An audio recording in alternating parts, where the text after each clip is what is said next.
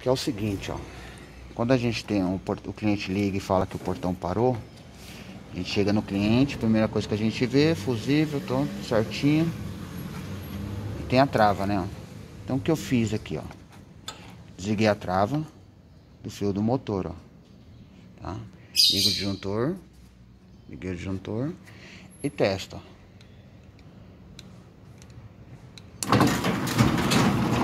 O portão tá funcionando, ó.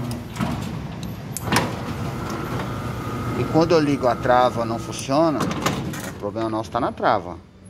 Tá? Então tem que estar tá trocando a trava aí. Tá bom? Não tem jeito.